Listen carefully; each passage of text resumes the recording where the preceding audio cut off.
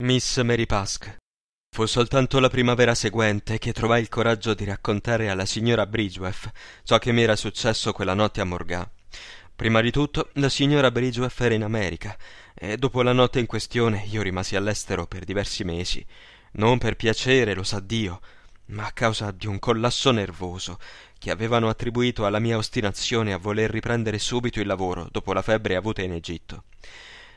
In ogni caso, anche se fossi stato porta a porta con Grace Bridgeworth, non le avrei raccontato comunque la storia prima di allora, né a lei né a chiunque altro, non prima di rimettermi in sesto in uno di quei meravigliosi sanatori svizzeri dove ti tolgono le ragnatele da dentro.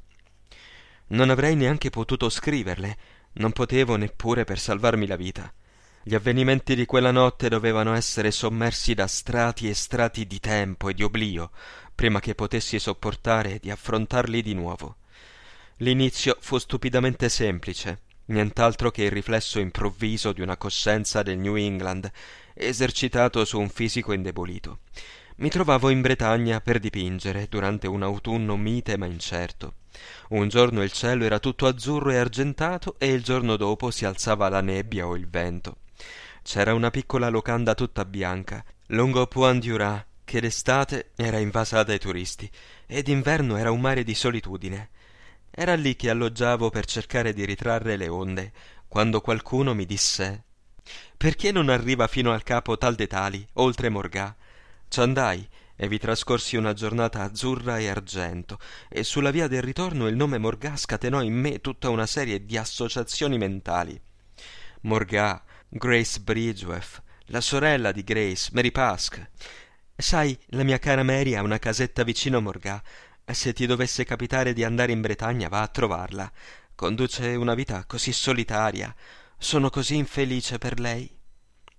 Fu così che tutto ebbe inizio. Conoscevo bene la signora Bridgeworth da anni, ma con Mary Pask, la sorella maggiore, nubile, non avevo mai avuto rapporti. Sapevo che Mary e Grace erano molto attaccate, per Grace era stato un vero dolore trasferirsi a New York quando aveva sposato il mio vecchio amico Horace Bridgeworth, perché Mary, dalla quale non si era mai separata, si era ostinata a restare in Europa, dove le due sorelle avevano vissuto e viaggiato dall'epoca della morte della madre. Non ho mai capito del tutto come mai Mary Pask non volle andare con Grace in America. Grace sosteneva che la sorella era troppo artista. Tuttavia, conoscendo la Miss Pask maggiore, e la natura estremamente elementare del suo interesse per l'arte, mi chiedevo se il vero motivo non fosse in realtà che detestava Horace Bridgeworth. Esisteva comunque una terza possibilità, più concepibile, se si conosceva Horace, vale a dire che questi forse le piaceva troppo. Ma anche questa diventava insostenibile, o almeno così pensavo, una volta che si conoscesse Miss Pask, con la sua faccetta rossa e rotonda, con i suoi innocenti occhi sporgenti, con il suo appartamento da anziana signorina decorato con riproduzioni artistiche e la sua vaga e timida filantropia. Aspirare a Horace. Beh, era tutto alquanto enigmatico, o così sarebbe stato se fosse valsa la pena interessarsi a questo enigma, ma non la valeva. Mary Pask era come altre centinaia di scialbe anziane zitelle, allegre derelitte, perfettamente soddisfatte di tanti piccoli surrogati della vita. Neppure Grace mi avrebbe interessato particolarmente se non avesse sposato uno dei miei amici più cari e se non fosse stata gentile con gli amici di lui. Era una bella donna, brava ma piuttosto noiosa, completamente presa dal marito e dai figli e senza la minima immaginazione. Tra il suo attaccamento alla sorella e l'adorazione che Mary Pasca aveva per lei, si apriva l'inevitabile abisso tra i sentimenti di chi è libero sentimentalmente e quelli di chi è già appagato negli affetti. Prima del matrimonio di Grace, tuttavia, le due sorelle erano state legate da un'intimità profonda e Grace era una di quelle dolci donnine coscienziose che continuavano a usare le espressioni più affettuose quando parlavano di qualcuno che amavano gioiosamente, anche se non lo vedevano mai. Così quando disse Lo sai, sono anni che io e Mary non stiamo insieme, da prima che nascesse la piccola Molly. Ah, se fosse venuta in America. Pensa, Molly ha sei anni e non ha mai visto la sua cara zia. Quando disse questo aggiunse Se andrai in Bretagna, promettimi che andrai a trovare la mia Mary. Mi commosse così profondamente che finii per sentirmi obbligato ad andarci, anche se non ne avevo alcun motivo. E accadde così che in quel pomeriggio azzurro e d'argento l'associazione di idee, Morgà, Mary Pask, per far piacere a Grace, sbloccò improvvisamente il mio senso del dovere. Benissimo, avrei messo poche cose nella borsa. Completato di dipingere la parte di quadro che mi ero prefissa per quel giorno, sarei andato a trovare Miss Pasca al calare della luce e avrei passato la notte alla locanda di Morgà. A questo scopo ordinai che mi facessero trovare alla locanda, quando fossi tornato, uno di quei traballanti birocci tirati da un solo cavallo tipici del luogo, e con questo partii verso il tramonto, alla caccia di Mary Pask con la rapidità con cui si battono le mani davanti a me e allo stalliere che portava il biroccio si parò una cortina di nebbia salita dal mare. Un minuto prima stavamo percorrendo un altopiano spoglio con le schiene rivolte al tramonto che tingeva di cremisi la strada davanti a noi e adesso ci avviluppava la notte più fonda Nessuno aveva mai saputo dirmi esattamente dove abitava Miss Pask, ma ritenevo probabile che l'avrei scoperto al villaggio di pescatori, verso il quale ci stavamo dirigendo. E avevo ragione, perché un vecchio sulla porta mi disse Sì, dopo la prossima salita, e poi giù per una stradina sulla sinistra che porta al mare. La signorina americana che vestiva sempre di bianco. Oh, lui la conosceva, vicino alla baie de Trepassé. Va bene, ma come facciamo a trovarla al buio? Io il posto non lo conosco, borbottò il ragazzetto riluttante che mi stava portando. Lo capirai quando ci arriveremo, dissi io. Sì, e nel frattempo il cavallo si sarà azzoppato. Non posso rischiare, signore, o mi metterò nei guai con il patron. Alla fine un argomento adatto lo convinse a spingere avanti l'incespicante cavallo guidandolo a piedi. Così proseguimmo per la nostra strada. Ci sembrò di avanzare piano per diverso tempo in un'oscurità umida, impenetrabile per la luce fioca del nostro unico lume. Ma ogni tanto la cappa si sollevava, oppure le sue cortine si separavano, e allora la nostra debole lanterna illuminava nella notte un oggetto perfettamente comune un cavallo bianco, il muso incuriosito di una mucca, i ciottoli del selciato, reso portentoso e incongruo per il semplice fatto di essere separato dallo sfondo di apparirci improvvisamente davanti e poi sparire in un baleno. Ogni volta che si verificava una di queste illuminazioni, il buio diventava tre volte più fitto, e la sensazione che per un po' avevo avuto di discendere gradualmente da una collina, adesso si era trasformata in quella di franare giù per un precipizio. Saltai giù di corsa e raggiunsi il mio giovane vetturino all'altezza del muso del cavallo. Non posso più andare avanti, mi fermo qui, signore, si lagnò questo. Guarda, c'è una luce laggiù, proprio lì davanti. Il velo ondeggiò e vedemmo due quadrati di luce in una massa scura, che doveva essere di sicuro la parte anteriore di una casa. Portami fin lì, poi potrai tornartene indietro. Il velo scese di nuovo, ma il ragazzo aveva visto le luci e ritrovò il coraggio. Di sicuro davanti a noi c'era una casa, e di sicuro era quella di Mary Pask, visto che non potevano essercene due in quel deserto. Inoltre il vecchio incontrato nel villaggio aveva detto vicino al mare e le modulazioni infinite della voce dell'oceano, così familiari in ogni angolo della Bretagna, al punto che la gente calcola le distanze su di loro, mi dicevano da diverso tempo che ci stavamo avvicinando al litorale. Il ragazzo seguitò a guidare il cavallo senza rispondere. La nebbia era più fitta che mai e la nostra lanterna ci mostrava soltanto le grosse gocce di umidità che colavano sui fianchi magri dell'animale. Il ragazzo si fermò bruscamente. Non c'è nessuna casa, stiamo finendo dritti nel mare. Ma le luci le hai viste, no? Così credevo, ma dove sono adesso? La nebbia si è di nuovo diradata. Guardi, si vedono degli alberi laggiù, ma le luci sono scomparse. Forse gli abitanti della casa sono andati a letto, proposi scherzando. Allora non sarebbe meglio tornare indietro, signore? Come? A due soli metri dal cancello. Il ragazzo rimase in silenzio. Un cancello doveva esserci di sicuro, e presumibilmente dietro gli alberi doveva esserci un'abitazione, a meno che non ci fosse soltanto un campo e poi il mare. Il mare, la cui voce collerica rombava sotto di noi. Non c'era da stupirsi se chiamavano quel porto la baie de Trepassé, la baia dei morti. Ma che cosa poteva aver indotto la rosea e tranquilla Mary Pask a venirsi a seppellire lì? Ovviamente il ragazzo non mi avrebbe aspettato, lo sapevo benissimo. Era proprio la baie de Trepassé. Il mare ruggiva come se fosse l'ora del pasto e le furie, le sue guardiane, lo avevano dimenticato. C'era un cancello, la mia mano l'aveva incontrato. A tastoni trovai il lucchetto, l'aprii e passai tra i folti cespugli, dirigendomi verso la casa. Non ardeva una sola luce. Se quella era davvero la casa di Miss Pask, lei andava di sicuro a dormire molto presto. La notte e la nebbia adesso erano una cosa sola, e le tenebre erano fitte come una coltre. Cercai inutilmente un campanello. Alla fine la mia mano venne a contatto con un battente e lo sollevai. Il colpo risuonò a lungo nel silenzio, ma per un paio di minuti non successe nulla. Non c'è nessuno, le dico, mi gridò il ragazzo spazientito dal cancello. Invece qualcuno c'era. Non avevo sentito passi all'interno, ma in quel momento scattò la serratura. Una vecchia con il cappello da contadina mise fuori la testa. Aveva posato la candela su un tavolo lì vicino, sicché la sua faccia, pur circondata da un alone luminoso, rimaneva in ombra.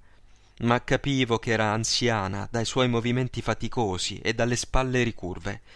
La luce della candela, che rendeva lei invisibile, illuminò invece appieno il mio viso, e lei mi fissò. È questa la casa di Miss Mary Pask? Sì, signore. La voce, una voce molto vecchia, era piuttosto gradevole, priva di stupore e perfino amichevole. Vado ad avvertirla, aggiunse, allontanandosi pesantemente. Crede che mi riceverà? le gridai dietro. E perché no? Che idea! quasi rise. Mentre si ritirava vidi che era avvolta in uno scialle e che aveva al braccio un ombrello di cotone. Evidentemente stava uscendo, forse doveva tornare a casa per la notte. Mi chiesi se Mary Pasca vivesse tutta sola nel suo romitaggio. La vecchia scomparve con la candela, lasciandomi nell'oscurità totale. Dopo un po' sentii chiudersi una porta in fondo alla casa e poi un lento calpestio di zoccoli sul pavimento esterno.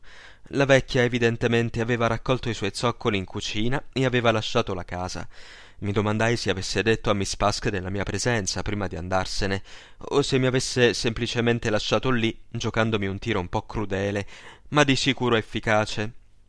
La cosa certa era che non si sentivano rumori all'interno. Il suono dei passi si spense, si udì cigolare un cancello, poi un silenzio totale si levò nuovamente come un muro. Mi chiedo, cominciai a pensare tra me e me, e in quel momento un ricordo confuso affiorò bruscamente alla superficie dei miei pensieri apatici. Ma è morta! Mary Pasca è morta! Lo strillai quasi a voce alta, tanto era forte il mio sbigottimento. Era incredibile quanti scherzi mi facesse la memoria da quando avevo avuto la febbre. Sapevo quasi da un anno che Mary Pasca era morta. Era morta improvvisamente lo scorso autunno, e anche se avevo pensato di continuo a lei in quegli ultimi due o tre giorni, soltanto adesso il particolare dimenticato della sua morte tornava bruscamente alla mia coscienza. Morta! Non avevo trovato Grace Bridgewaff in lacrime, in lutto, il giorno stesso in cui mi ero recato a salutarla prima di partire per l'Egitto. Non mi aveva messo davanti agli occhi un telegramma, piangendo a dirotto mentre leggevo Sorella morta improvvisamente questa mattina, richiesta sepoltura in giardino casa, particolari per lettera. Era firmato dal console americano a Brest, un amico di Bridgewaff, che mi sembrava di ricordare. Vedevo le parole di quel messaggio impresse nel buio davanti a me. Mentre me ne stavo lì, ero più irritato dalla scoperta di aver avuto un simile vuoto di memoria che dal fatto di essere da solo in una casa immersa nel buio o vuota o abitata da estranei. Recentemente mi ero già accorto di perdite improvvise di memoria riguardo a fatti noti e adesso eccone un'altra. Decisamente non mi ero ancora ripreso come il dottore mi aveva assicurato. Beh, sarei tornato a Morgà e sarei rimasto lì un paio di giorni a non fare niente, a mangiare e dormire soltanto.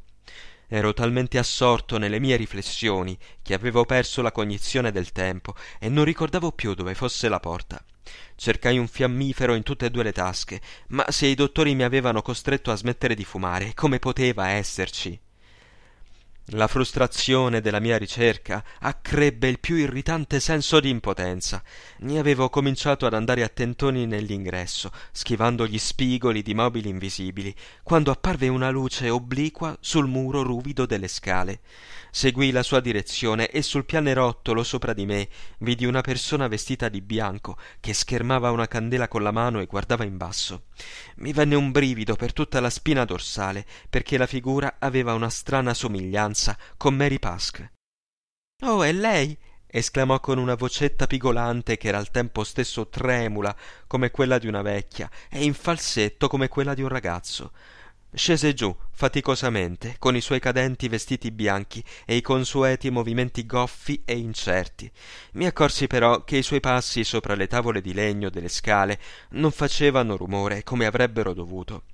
Rimasi senza dire una parola a guardare la figura sopra di me e mi dissi non c'è niente né lì né altrove. Hai digerito male, oppure hai un problema agli occhi, oppure hai qualcosa che non va da qualche parte ma c'era la candela e mentre si avvicinava illuminando l'interno in cui mi trovavo mi voltai e afferrai la maniglia della porta perché ricordate avevo visto il telegramma e Grace in lutto. Ma che cosa le prende? Gli assicuro non mi dà nessun disturbo cinguettò la figura di bianco aggiungendo con un debole sorriso. Non ho più molti visitatori di questi tempi era arrivata all'atrio e stava davanti a me, tenendo in alto la candela con la mano tremante, scrutandomi in faccia. Lei non è cambiato, non come avrei pensato. Ma io sì, non è vero? mi domandò con un'altra risatina, e all'improvviso mi posò una mano sul braccio. Guardai la mano e dentro di me pensai questa non può ingannarmi. Ero sempre stato un attento osservatore delle mani della gente, la chiave per scoprire il carattere che gli altri cercano negli occhi, nella bocca, nella forma del cranio. Io la trovo nella curva delle unghie, nel taglio dei polpastrelli, nel modo in cui il palmo, roseo o giallastro, liscio o rugoso, parte dalla base. Ricordavo così distintamente la mano di Mary Pask perché sembrava davvero una caricatura di se stessa, rotonda, paffuta, rosea, ma al tempo stesso invecchiata prematuramente e inutile. Ed era lì, posata sulla mia manica. Però era cambiata, si era avvizzita. Somigliava in un certo senso a uno di quei pallidi funghi velenosi e macchiati che diventano polvere non appena li tocchi. Polvere, ma certo, Guardai quelle dita leggermente rugose e con i loro assurdi e piccoli polpastrelli ovali, una volta così innocenti e naturalmente rosei, e adesso blu sotto le unghie giallastre, e mi sentii accapponare la pelle. Entri, venga, gorgheggiò lei inclinando da una parte la testa bianca e spettinata e guardandomi con gli occhi azzurri sporgenti. La cosa orribile era che ricorreva ancora alle stesse arti, a tutti gli adescamenti ingenui di una goffa e frivola civetteria. Sentii che mi tirava per la manica, obbligandomi a seguirla come un filo d'acciaio. La stanza nella quale mi condusse era, beh, intatta. È così che si dice in questi casi, perché di regola quando le persone muoiono, le loro cose vengono raccolte tutte insieme, i mobili venduti e i loro ricordi spediti ai familiari per una macabra compassione, o forse erano state istruzioni precise di Grace, invece, quella camera era stata conservata esattamente come mi immaginavo che fosse quando Miss Pasche era viva. Non ero dell'umore di mettermi a guardare i particolari, tuttavia alla luce guizzante della candela intravidi cuscini ricamati, teiere di rame e un vaso che conteneva ancora il ramoscello sbiadito di un virgulto a lenta fioritura, un vero interno alla Mary Pask. La bianca figura svolazzò come un fantasma fino al caminetto, accese altre due candele e posò la terza sul tavolo. Non credevo di essere superstizioso, ma quelle tre candele. Senza neppure riflettere mi chinai di corsa e ne spensi una. La sentii ridere alle mie spalle. Tre candele! Credi ancora a queste cose? Io ho superato tutto, vede? ridacchiò. Una sensazione di benessere, una tale libertà. Un nuovo brivido si aggiunse ai molti altri che mi avevano già attraversato. Venga a sedersi vicino a me, mi invitò adagiandosi su un divano. È un secolo che non vedo più una persona viva. Le parole che aveva usato erano scelte in modo certamente strano, e mentre appoggiava la schiena al bianco e scivoloso divano e mi chiamava con un cenno di quelle mani insepolte, ebbi l'impulso immediato di girarmi e scappare di corsa. Ma la sua faccia anziana, sospesa lì alla luce delle candele, con le guance rosse innaturali come due mele dipinte, e gli occhi azzurri che si muovevano gentili, sembrava appellarsi a me contro la mia vigliaccheria per ricordarmi che viva o morta Mary Pask non avrebbe fatto male a una mosca. La prego, si sieda, ripeté, e io mi sedetti all'altro capo del divano. È stato così incredibilmente buono a venire. Sarà stata di certo Grace a chiederglielo. Rise di nuovo.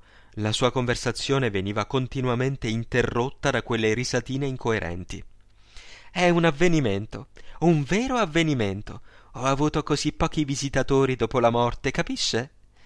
Una nuova doccia gelida mi ghiacciò il corpo, ma la guardai risoluto e l'innocenza del suo volto mi disarmò di nuovo. Deglutii e le parlai, con un enorme sforzo, come se stessi sollevando una lapide. Vive qui da sola, cominciai tanto per dire. Oh, come sono felice di udire la sua voce. Ricordo ancora le voci, anche se ne sento così poche mormorò con aria sognante. Sì, vivo qui da sola. La vecchia che ha visto prima se ne va quando scende la notte. Non vuole restare quando fa buio. Dice che non può, non è buffo. Ma non ha importanza, a me piace il buio.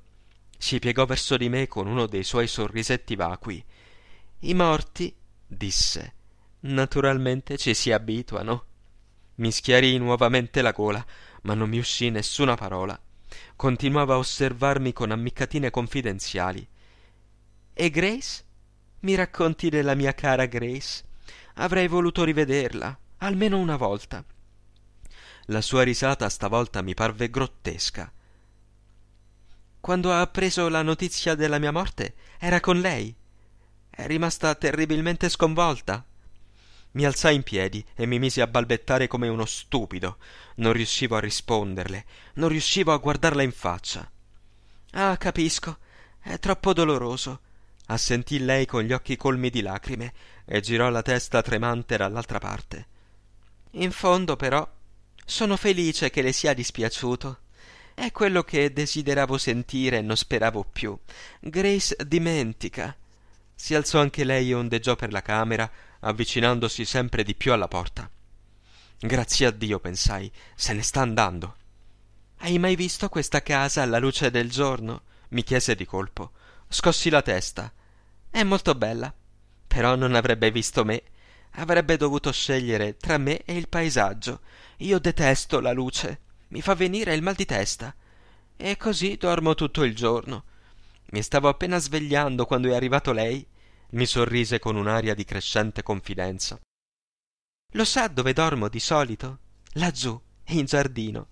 Di nuovo una risatina stridula. C'è un angolo ombreggiato in fondo al giardino dove non arriva mai il sole. A volte vi rimango a dormire finché spuntano le stelle. Mi tornò in mente il riferimento alla sepoltura in giardino contenuto nel telegramma e pensai Dopotutto non è una condizione così infelice mi chiedo se non sia più contenta adesso di quando era viva. Forse lo era, ma di sicuro non lo ero io in sua compagnia. E mentre la vedevo sgusciare verso la porta, ebbi il desiderio fortissimo di arrivarci prima di lei. In un impeto di vigliaccheria la superai, ma un secondo dopo lei aveva già afferrato la maniglia e si appoggiava alle ante della porta con la sua lunga veste bianca che la ricopriva come un sudario piegò la testa leggermente da una parte e mi scrutò da sotto quelle sue palpebre senza ciglia. Non se ne starà andando? mi rimproverò. Cercai inutilmente di ritrovare la voce, quindi in silenzio le feci segno di sì. Vuole andarsene, andarsene via, definitivamente. I suoi occhi erano ancora posati su di me e vidi delle lacrime raccogliersi agli angoli e scorrere giù sulle guance rosse e lucide. Oh, ma non deve, disse gentilmente. Mi sento così sola. Balbettai qualcosa di incomprensibile, come ipnotizzato dalla mano dalle unghie blu che stringeva la maniglia. All'improvviso si aprì di colpo la finestra alle nostre spalle e una raffica di vento sollevandosi dal bujo spense la candela posata all'angolo del camino. Mi girai nervosamente a guardare se anche l'altra candela si stesse spegnendo. Non le piace il rumore del vento? A me sì. Non ho altri con cui parlare. Alla gente non piaccio molto da quando sono morta. Strano vero? I contadini sono così superstiziosi a volte sono veramente sola. La sua voce si ruppe in un ultimo sforzo di riso e lei si mosse verso di me senza togliere la mano dalla maniglia. Sola sola. Se sapesse quanto. È stata una bugia dirle che non lo ero. E adesso arriva lei e il suo viso ha un'espressione amichevole. E poi mi dice che se ne vuole andare. No no no non deve. Altrimenti perché è venuto? È crudele credevo di aver imparato che cosa fosse la solitudine. Quando grace si sposò capisce? Grace era convinta di pensare a me in continuazione ma non era così. Mi chiamava cara e invece pensava a suo marito e ai suoi figli. Allora mi dissi non potresti sentirti più sola neanche se morissi. Ma adesso lo so. Non ho mai provato una solitudine più grande di quella che ho sentito in quest'ultimo anno. Mai. E a volte mi siedo qui e penso se un giorno arrivasse un uomo e si innamorasse di te. Fece un altro dei suoi risolini insulsi. Beh cose del genere sono già accadute si sa persino quando la giovinezza è passata. Un uomo che avesse anche lui i suoi guai ma non è venuto nessuno fino a stanotte. E adesso mi dice che se ne vuole andare. Improvvisamente si lanciò verso di me. Oh resti con me resti con me solo stanotte è così dolce e sereno questo posto. Non lo saprà nessuno. Non verrà nessuno a disturbarci. Avrei dovuto chiudere la finestra subito dopo la prima raffica di vento. Avrei dovuto immaginare che ne sarebbe seguita un'altra e più potente della prima. Di fatto si alzò in quel momento facendo aprire la grata dai cardini lenti riempiendo la stanza del rumore del mare e di umidi mulinelli di nebbia e scaraventando l'altra candela per terra la luce si spense e io rimasi lì noi due restammo lì senza vederci nelle tenebre che ci avvolgevano ruggendo.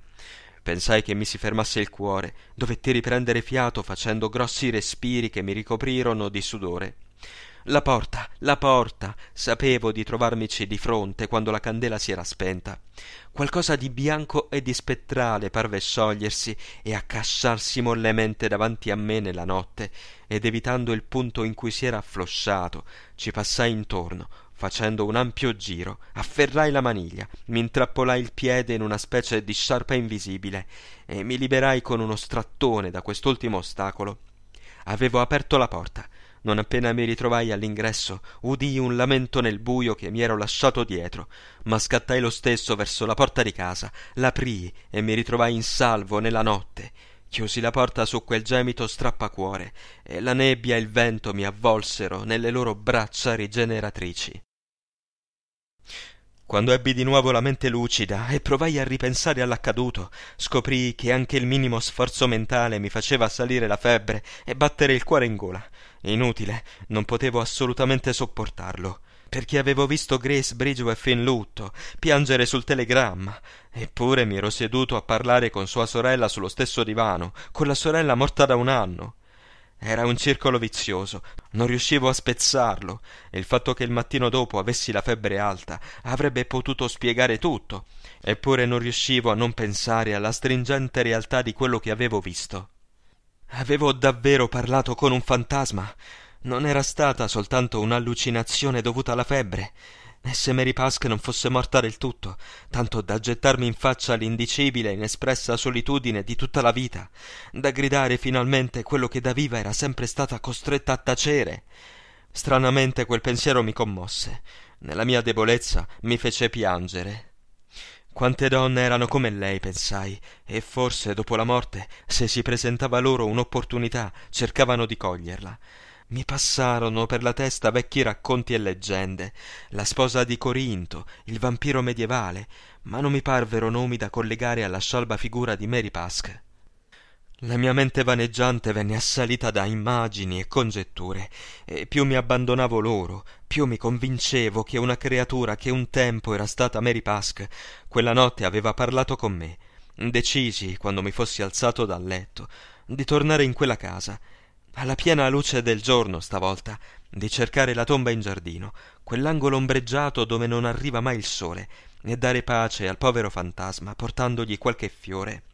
I dottori invece decisero altrimenti, e forse la mia debole volontà fu loro complice, senza saperlo. Ad ogni modo cedetti alla loro insistenza e mi feci portare dall'albergo al treno diretto a Parigi, perché da qui mi trasportassero via nave come una valigia al sanatorio svizzero che mi avevano consigliato. Naturalmente intendevo tornare non appena mi fossi rimesso e nel frattempo con crescente tenerezza ma con maggiore intermittenza i miei pensieri si allontanavano dalla montagna innevata e riandavano a quella notte ventosa d'autunno alla baie des Trépassés e alla manifestazione della defunta Mary Pask che per me era più reale di quanto fosse mai stata la Mary Pask viva Dopotutto, perché avrei dovuto raccontare la mia esperienza a Grace Bridgewaff? Avevo saputo cose che in realtà non la riguardavano. Se la rivelazione era stata fatta a me, non era mio dovere seppellirla nei più profondi recessi in cui l'inesplicabile e l'indimenticabile dormono insieme. E poi quale interesse avrebbe potuto trovare una donna come Grace in una storia che non avrebbe potuto capire e alla quale non avrebbe potuto credere?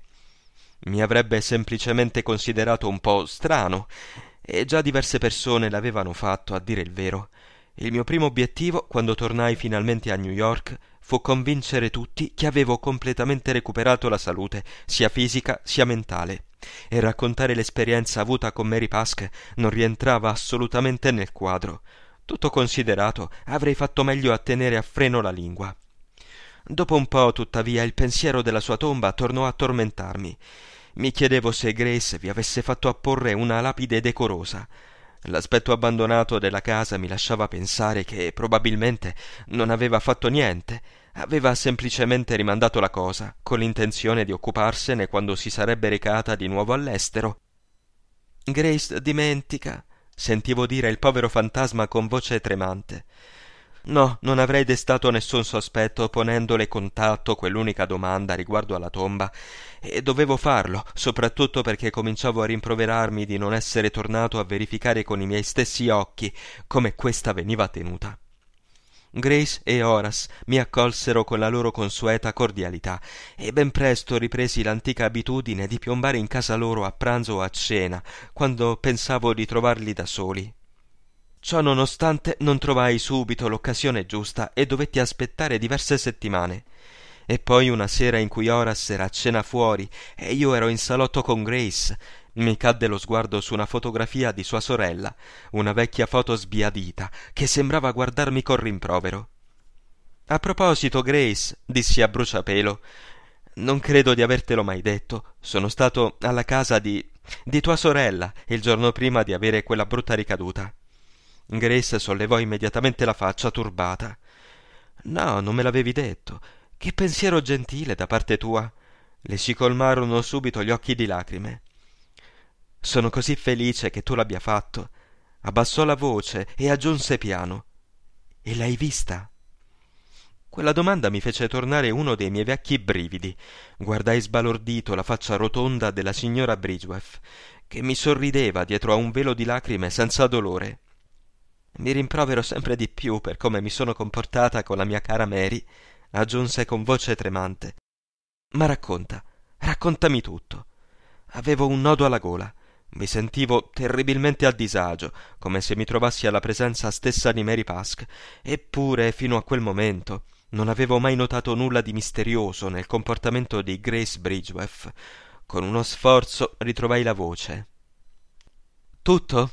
Oh, non è possibile. cercai di sorridere. Ma l'hai vista? Riuscii a far cenno di sì con la testa, seguitando a sorridere. La faccia di Grace mi parve improvvisamente stravolta. Sì, stravolta. E il cambiamento è stato così orribile che non riesci a parlarne. Dimmi, è così. Scossi la testa. Dopo tutto quello che mi aveva sconvolto era che invece il cambiamento fosse così esiguo, che tra la morte e la vita sembrava ci fosse, dopo tutto, così poca differenza, a parte quella di una misteriosa crescita di realtà. Ma gli occhi di Grace mi interrogavano ancora con insistenza. Devi dirmelo, ripeté. Lo so che sarei dovuto andare laggiù molto tempo fa. Sì, forse avresti dovuto farlo. Esitai per occuparti della tomba almeno. Rimase in silenzio seguitando a guardarmi. Aveva smesso di piangere, ma il suo sguardo sollecito si stava trasformando lentamente in un'espressione d'orrore. Con esitazione, quasi con riluttanza, allungò la mano e la posò per un attimo sulla mia. Caro vecchio amico, cominciò. Sfortunatamente la interruppi. Non sono potuto tornare di persona a vedere la tomba perché il giorno dopo mi sono ammalato. Sì, sì, certo, lo so, si interruppe. Sei proprio sicuro di esserci andato davvero? mi domandò bruscamente. Sicuro? Buon Dio. Adesso fui io a fissarla. Pensi che non mi sia ancora ristabilito del tutto? suggerì con una risatina nervosa. No, no, certo che no, ma non capisco. Non capisci cosa? Sono entrato in quella casa, ho visto tutto in realtà tranne la sua tomba. La sua tomba. Grace saltò in piedi, stringendo le mani al petto e allontanando lo sguardo da me. Una volta arrivata all'altro capo della stanza mi fissò, quindi tornò lentamente dov'era. Allora, dopo tutto, mi chiedo, seguitava a guardarmi in parte impaurita e in parte rassicurata.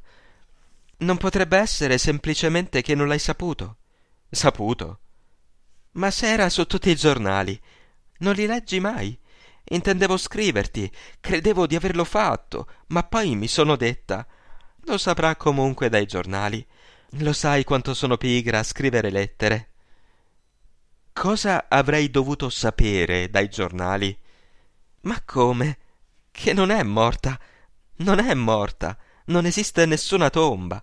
Si è trattato soltanto di transcatalettica. Un caso straordinario, hanno detto i dottori. Ma lei non te l'ha detto quando l'hai vista? Scoppiò in una risata semisterica. Di sicuro ti avrà detto che non era morta. No, dissi lentamente. Non me l'ha detto. Rimanemmo a parlare a lungo, poi dopo mezzanotte tornò Horace. Grace voleva continuare a discutere dell'argomento. Come seguitava a ripetere, quella era stata di sicuro l'unica volta che la povera Mary era apparsa sui giornali. Mentre stavo seduto lì ad ascoltarla con pazienza, tuttavia, non riuscivo a trovare alcun interesse in quello che diceva. Sentivo che non avrei potuto mai più interessarmi a Mary Pask o a qualsiasi cosa che la riguardasse.